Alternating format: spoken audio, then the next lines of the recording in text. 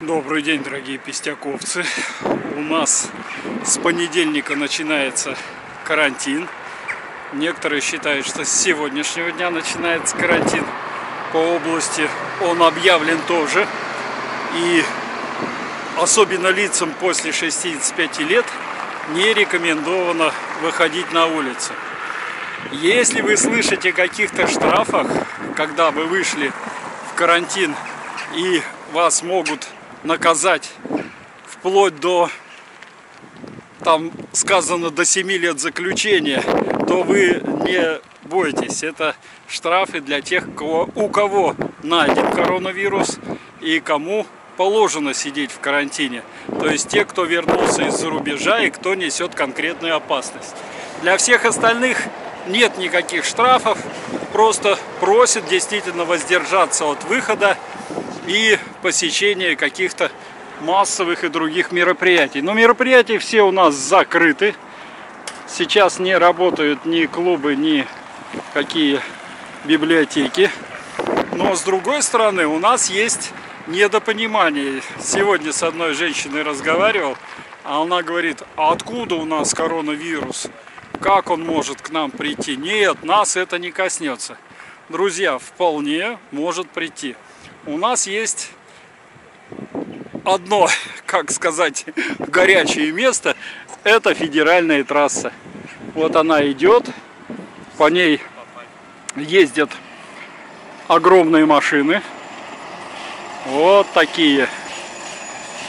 И эти машины останавливаются в пестяках.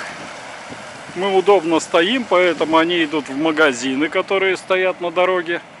И шофера берут там продукцию. Эти машины некоторые сейчас идут прямо из-за рубежа, потому что там таможни для провоза товаров практически открыто. Значит, пошлины снижены, и поэтому они рванули и едут. И заходя в магазин, они, конечно, несут эти водители нам потенциальную опасность. По моему наблюдению, единственное что, вот они никогда не берут тележек, потому что им не надо много еды. И никогда не берут э, корзинок. Как правило, в руку они набирают колбасы, э, воды, ну вот таких продовольственных товаров.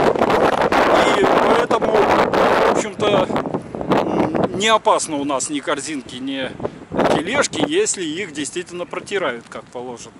Я прошелся по двум магазинам. Ну, в магазине у нас пока все спокойно. Продукты все есть. Крупы. Вот, пожалуйста, есть крупы. Так, гречи только в таких пакетах вижу. Зато все остальное есть. Мука, масла, макароны.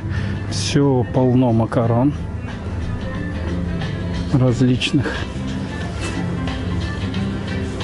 Так что все пока в этом плане нормально. Никаких не вижу, правда, антисептических мер. Не пол не влажный, видать, не протирали. Ни здесь нет, никто не носит никаких у нас повязочек. Да и повязочек нет в аптеке. Так что все пока в порядке. но здесь тоже даже гречи есть. А, интересно. Это гречи в пакетиках на 20 рублей дороже, чем там в коробке. А так остальные крупы есть. Молочка, колбасы. Все, конечно, это в наличии. И никакой паники. Все у нас спокойны бумага туалетная тоже имеется. Так что все нормально. живем.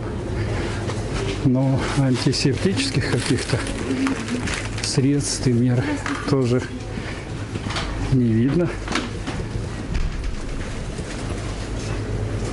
В масках никто не ходит и не работает. Так что вот так. К сожалению, в них я не нашел никаких признаков антисептических мер, что кто-то что-то протирает и кто-то работает в перчатках. Ну ничего. В общем, рекомендация-то достаточно простая. Все-таки магазины посещать реже, держаться друг от друга дальше и особенно подальше держать от водителей, которые стоят перед вами с этими товарами. Потому что они действительно для нас потенциально опасны.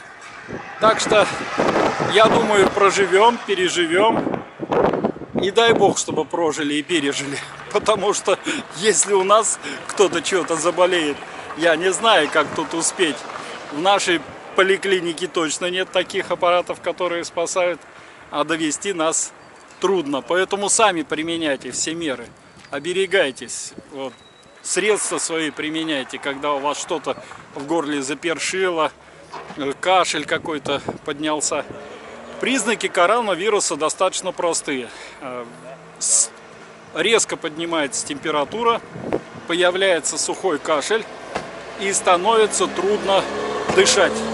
Вот как только у вас что-то такое появилось, так звоните в скорую помощь и говорите, что я подозреваю. Вам сразу приедут и сделают все, что нужно. Так что здоровья всем, радости, всем выжить.